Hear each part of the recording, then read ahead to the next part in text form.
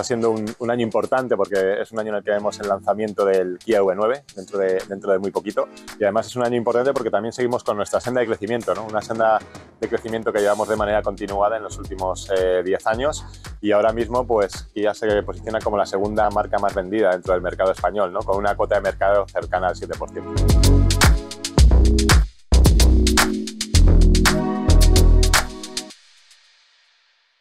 Tenemos una gama súper amplia, una gama que llega prácticamente a todos los segmentos del mercado y además que la ofertamos con diferentes tipos de motorizaciones. Además de las motorizaciones de combustión, desde aquí hemos hecho una apuesta súper importante por la electrificación. ¿no? Tenemos vehículos, eh, bien sean mild hybrid, híbridos, híbridos enchufables o completamente eléctricos, adaptados también a todos los segmentos del mercado, con lo cual creo que tenemos una opción de producto de calidad, de diseño y de garantía pues, para todo tipo de clientes.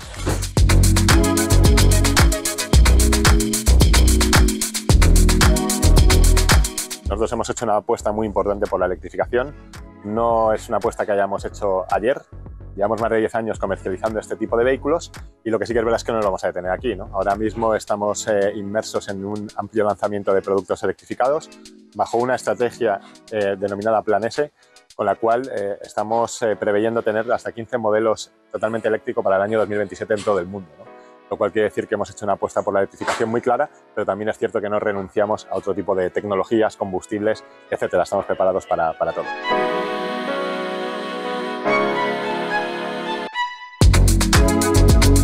Lo más reciente va a ser el EV9, que llegará dentro de apenas tres semanas al mercado español.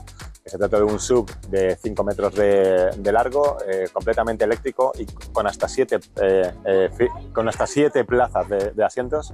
Y bueno, se trata de nuestro primer sub con tres filas de, asientos para toda la familia, con una gran batería que va a permitir que el vehículo supere los 500 kilómetros de autonomía eléctrica y con una amplia carga de tecnología tanto en seguridad como en infoentretenimiento.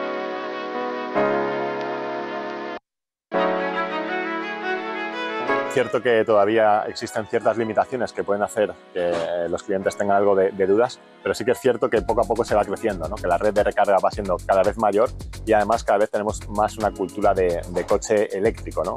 En cualquier caso, desde Kia hemos lanzado varias iniciativas para que aquellos eh, clientes interesados en un coche eléctrico no tengan miedo en dar ese paso y hemos establecido un programa como son los 10 compromisos Kia con una serie de valores añadidos para este tipo de clientes para que puedan dar ese salto a la electrificación y también estamos trabajando en redes de recarga eh, tanto en los hogares, a nivel concesionario, como también una red de recarga ultra rápida por todo el país.